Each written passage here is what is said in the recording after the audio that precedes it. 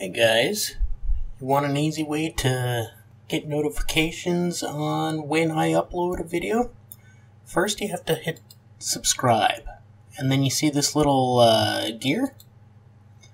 Go and check that, and then save. Do that on my channel and every other channel that that uh, you, you feel you, you want to get every notification from.